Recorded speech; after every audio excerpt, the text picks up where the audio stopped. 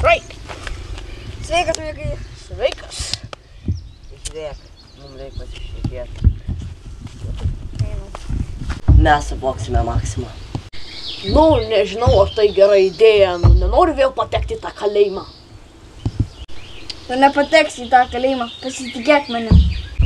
Na gerai, bet jeigu pateksiu į kažkokį kalėjimą, daugiau jokių apiplėšimų. Sutarta? Taip. Rytoj antrą valandą prie Maksimas. Sutarta.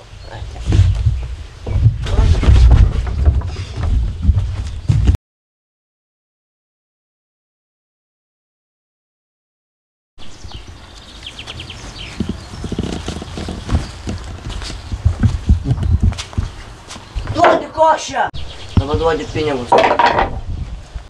Gulkitės! Ir kas čia buvo? Cecil'dan Lay bir drol goşe. Ne poli gülün